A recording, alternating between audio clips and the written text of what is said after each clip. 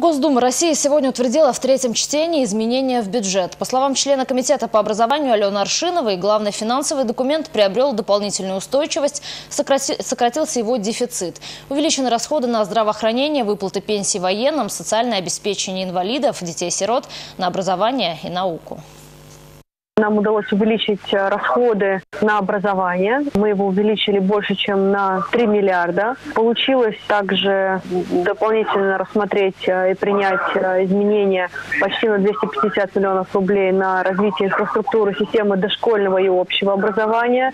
Также на, по этой госпрограмме мы увеличиваем расходы на повышение оплаты труда работников образования. Это дополнительно 286 миллионов рублей. На стипендиальные социальное обеспечение э, студентов дополнительно больше трех миллионов рублей и на другие нужды образования. Получилось также увеличить расходы на э, развитие науки, фактически э, больше трех миллиардов рублей.